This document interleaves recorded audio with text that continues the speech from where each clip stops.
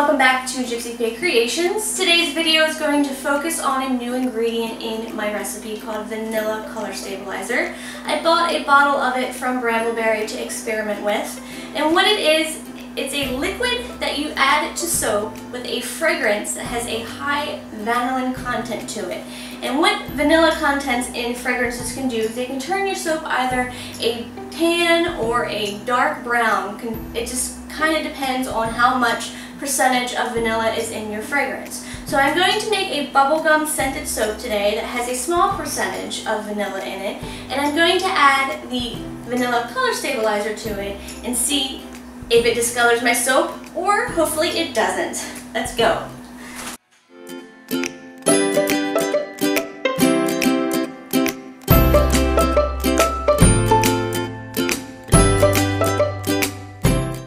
So my oils have been melted down and they have been sitting at room temperature. So has my lye solution that I've added some titanium dioxide and sodium lactate to. And we're just going to mix everything up here.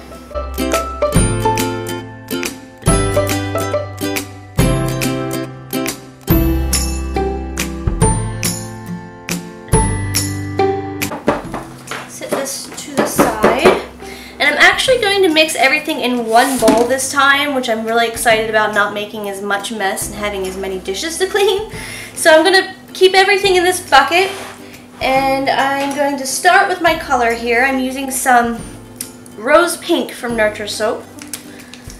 And when you mix that with the titanium dioxide, I'm hoping that I get a light pink color and not anything too bright. You know, more like a bubble gum. So let's just add a little bit, mix it up and see where I am.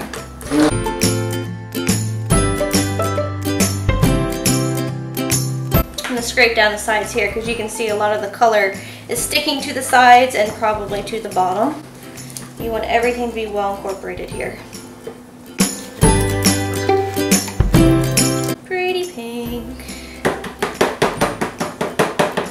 So the fragrance I'm using, like I said, is Bubblegum. It is by Naturals by Nana, or Nana um, Bubblegum fragrance. It has about 3.3% of vanilla in it. This is the vanilla color stabilizer that I got from Brambleberry. And the typical usage for this is 1.1, so 1 to 1 ratio um, of fragrance to the vanilla color stabilizer. I'm probably not going to go with that ratio because I mentioned earlier that the bubblegum doesn't have a very high content of vanilla in it, so I'm probably going with half the bottle, I think yell at me for not properly measuring everything, but yeah. Alright, so I've poured that in with the fragrance. Also, I'm hoping that the pink helps as well hide with hiding any discolored tendencies. Alright, so I'm going to pour this in here. And give it a little mix with my spatula. And this smells just like bubblegum. Mmm, like pink bubblegum. Alright, so I was kind of debating on what exactly to put inside of the soap. I was thinking about like little soap balls that would look like gumballs in there. And then I decided I don't like the, that when I cut it, I can't really tell where the soap gumballs are and that you might not get all the colors inside of it. So what I've done is I've taken some soap, but I've just put it through a cheese grater and it actually even kind of looks like cheese. Different colors here, some blues, some purples, and some yellows. And I'm going to pour this into my soap here. And I want to make sure that this is at the right consistency because I want this stuff to be suspended in my solution.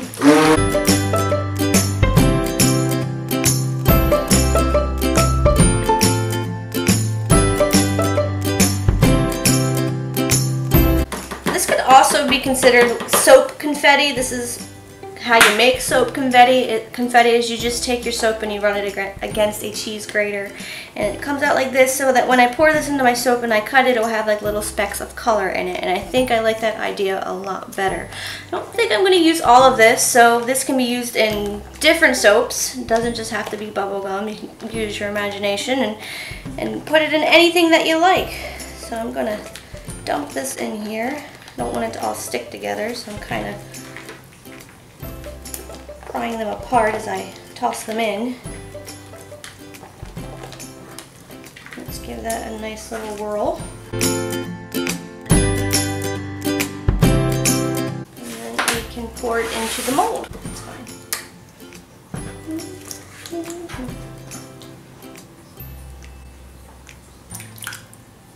I really hope this doesn't all sink to the bottom.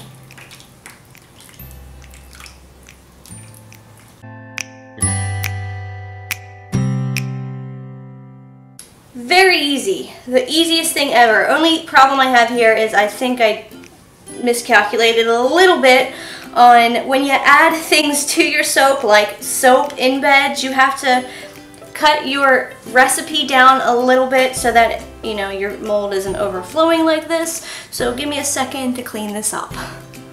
I've cleaned up my mess and I'm ready to pipe the top of my soap. I've whipped up some soap topping here in a nice tidal wave blue, again with some titanium dioxide. And then I'm going to start off by spraying with some isopropyl alcohol on the top of this. And get started. See if it stinks. And three. I'm going to do three across. Just like so.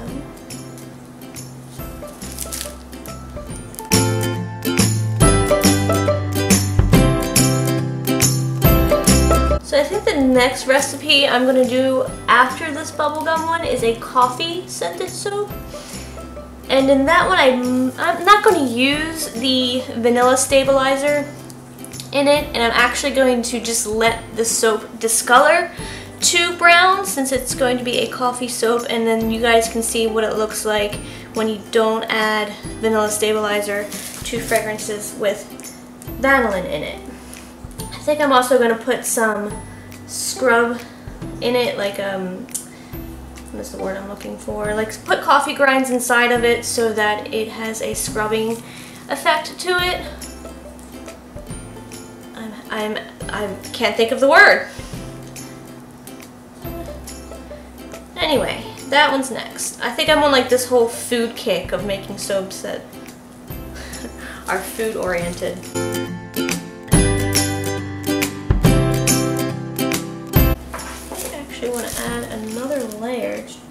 Not enough for me. I need more soap on here.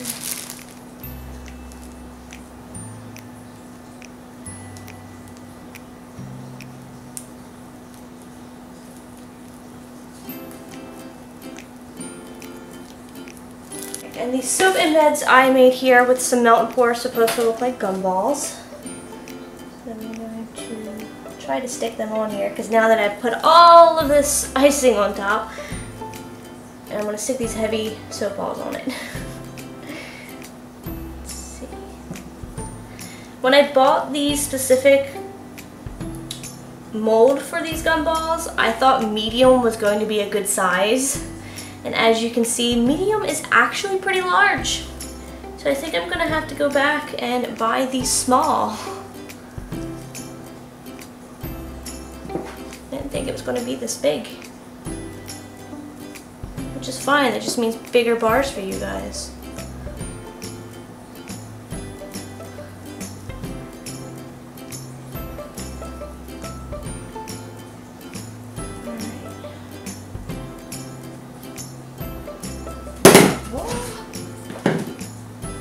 So then what I've got here is some sprinkles, some pretty little pink sprinkles I wanted to put on top of here. Does that not make soap look yummy?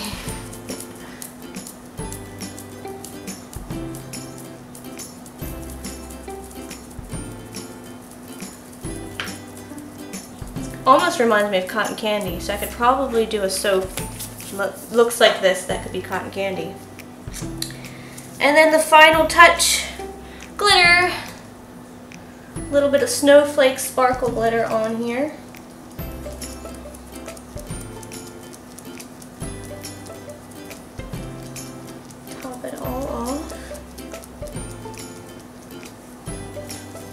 Looks good to me. It's so pretty. And last but not least, you want to spray again with your isopropyl alcohol. So I will let this sit for 24 to 48 hours. I will unmold it and we will cut it with my brand new soap cutter. And fingers crossed that there is no discoloration. Here we go. Wait, you have to intro. Don't you have to talk? It's just bubblegum soap. These people know what I'm talking about on here. And right. people have seen the pictures. Alright. I'm just cutting soap.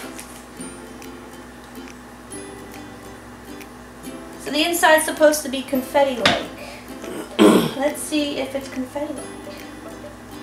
Hmm? It sure does look like confetti to me. Take a look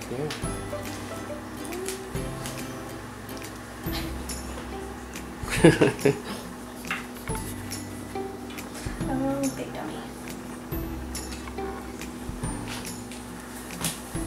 You got it on yourself? Paper towel.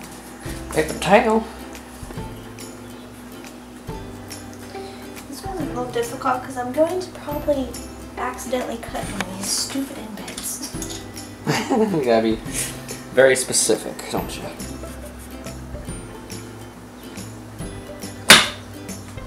There we go. This is my first soap with glycerin rivers in it. What is it, glycerin? Oh, yeah. Those little veiny things. That's, Veinies. That's from using fragrances that have vanilla in it and then trying to use that color vanilla color stabilizer. So that is a side effect. Side effects? Oh, hello. It smells really good. It smells like fresh, fruity, pink bubblegum. That's what it looks like. Kind of has like a bubblegum slash cotton candy look to it.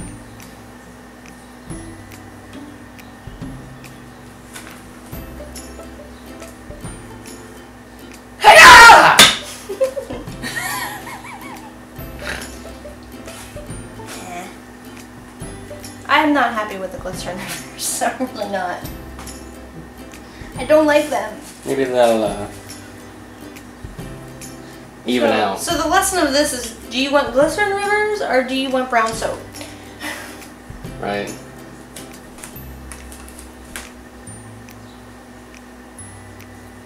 Still quite soft.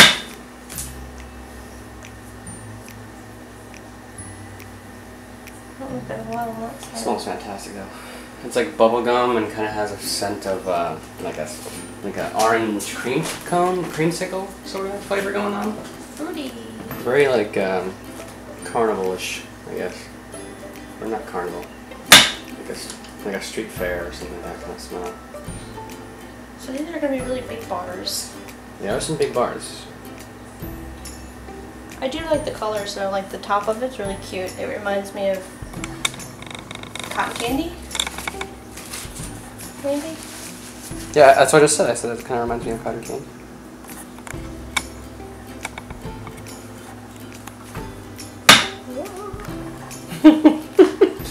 Last one. That was it. Oh, look at that.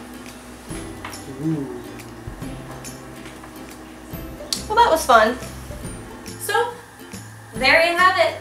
Still a perfectly fine bar soap, I promise. Even with the glycerin rivers in it. Some people actually like them. I personally hate them. They can happen in anyone's soap, whether you're a beginner or if you're someone who is professional making soap. It happens. They're actually better for the bar, for your skin, and some people think they have personality.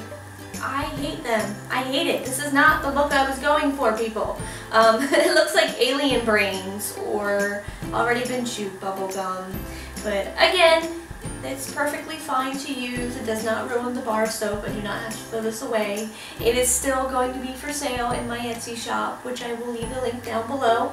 Things that cause the glycerin rivers can be the titanium dioxide that's used for coloring, um, the fragrance, how hot the soap heats up, or like the additive they use with the color stabilizer. These are all factors that can cause glycerin rivers.